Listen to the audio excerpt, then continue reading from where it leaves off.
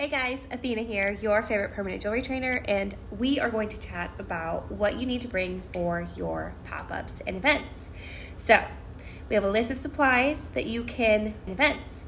So, read below about, and we also have links to those supplies like the Jackery, and we'll get a little bit more into detail in the next video.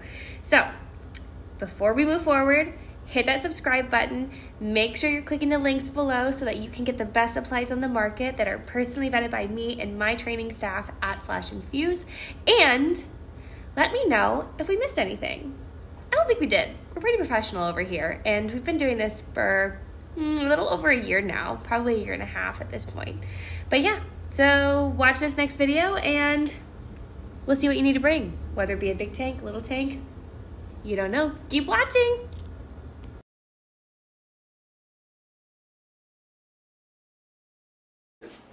Let's talk about pop-ups. So what you want to make sure you're asking when you are signing up for a pop-up or a vending event is one, how much does the event cost? You need to factor in how many bracelets you can do or anklets or necklaces within the hour time frame that the pop-up or the vending event is. So starting out, I would suggest that you calculate about four per hour because you're gonna need that extra time. If someone wants to add a connector, if someone wants to add a double bracelet, you're gonna need to factor that time in. It's gonna take you about 20 to 25 minutes. Now, as you get faster and more skilled, you're probably gonna do about a bracelet every five to six minutes, and I'm not even kidding. Um, so you're gonna be able to factor that in a little bit later, probably closer to around six months to a year. So set that as your goal to do a bracelet in every six minutes uh, as you take your time into the business, okay? So another thing you're gonna wanna ask your pop-up and your vending events is if there is a power source if there's not a power source, you need to make sure, if you don't want to limit yourself, you have something like this. Now this is the Jackery. It is the 300 model. It is linked in my bio on Instagram. It is linked below for you to purchase. And it is amazing. You can plug in your Orion mPulse machine. It lasts me eight plus hours when I'm doing bracelets constantly every five to six minutes. I can also charge my phone. and I can charge pretty much anything I need from this location.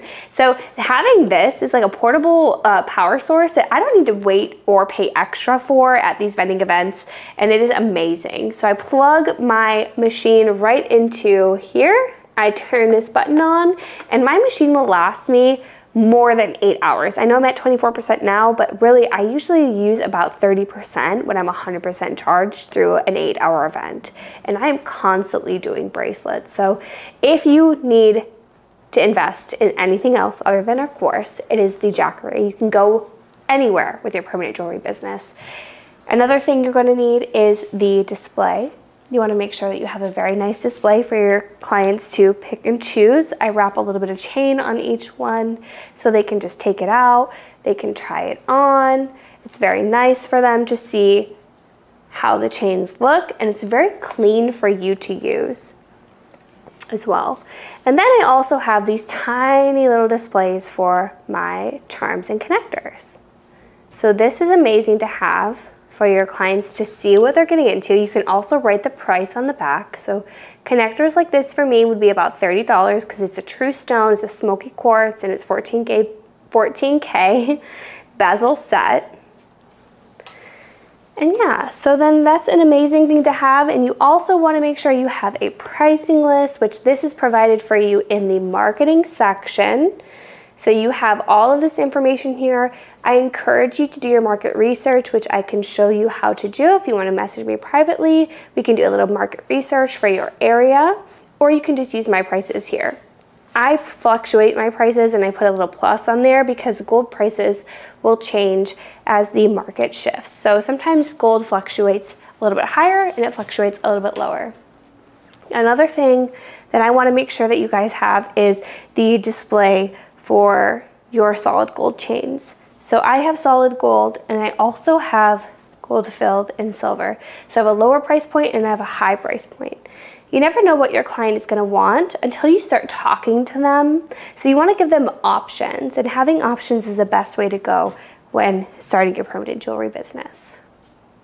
And then of course, you're going to have your Orion mPulse, your auto dimmer, your precision pliers, right? Extra pliers so that you can close and open your jump rings. And then of course you're gonna have your argon tank. And that's what you're gonna need for a pop-up.